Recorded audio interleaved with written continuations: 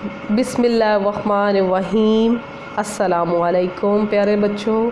I hope you are all well आज मैं एक नई वीडियो के साथ और नए टॉपिक के साथ हाजिर आज हम इस वीडियो में सीखेंगे और पढ़ेंगे major trade and occupation of Mesopotamian civilization के बारे में।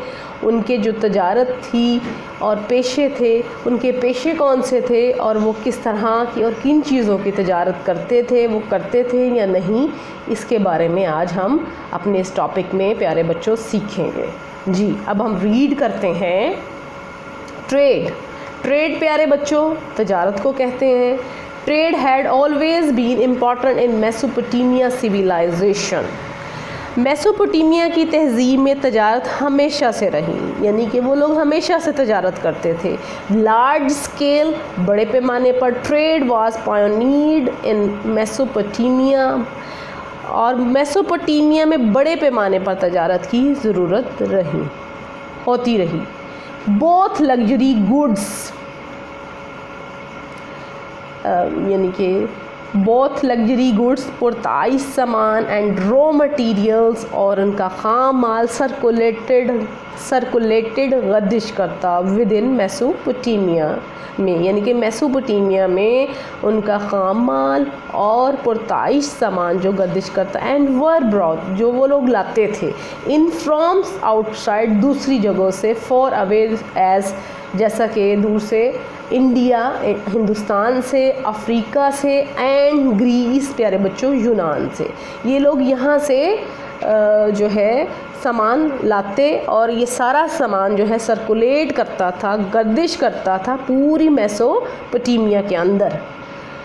पूरी the people of Mesopotamia trade did in export and import of goods प्यारे बच्चों, मैसोपोटामिया के जो लोग थे, वो तजारत दरामदाद करते भी, तजारत में और बरामदाद भी करते थे। यानी कि वो चीज़ें दूसरे ममालिक से ख़रीदते भी थे और भेजते भी थे अपने ममालिक में से।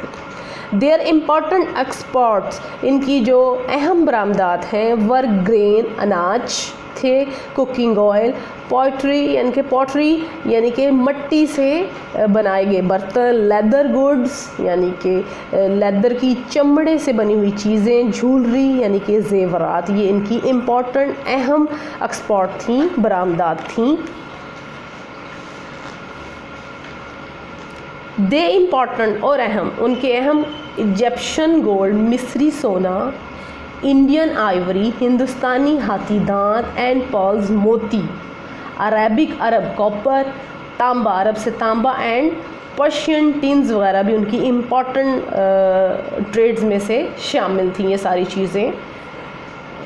जी प्यारे बच्चों, वो ट्रेड्स किन रास्तों से करते थे, आप इस मैप में देख सकते हैं कि वो मैसोपोटामिया के जो लोग थे, वो कैसे पूरे इस मैप के थ्रू आप ये देख सकते हैं कि एंशियंट जो कदीम trade route for copper copper की कदीम रूट जो रूट है, वो यानी कि एक ममालिक से दूसरे ममालिक यहाँ मैसोपोटामिया तक किस तरह लाया जाता था, आप इस पूरे उसमें देख सकते मैप में।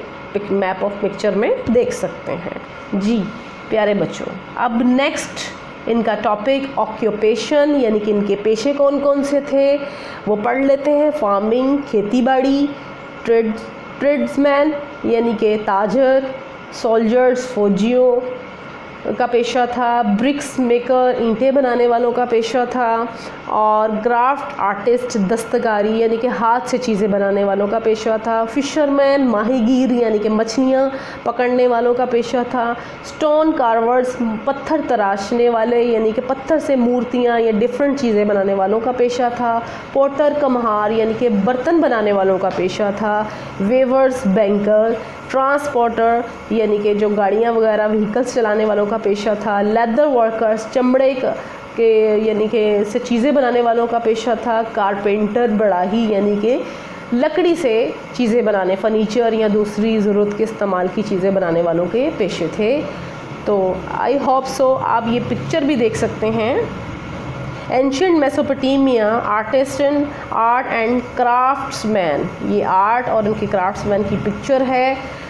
प्यारे बच्चों आई होप आपको ये टॉपिक अच्छे से समझ आ गया होगा। तो मेरी वीडियो को लाइक करें शेयर करें सब्सक्राइब करें। अल्लाह हाफ़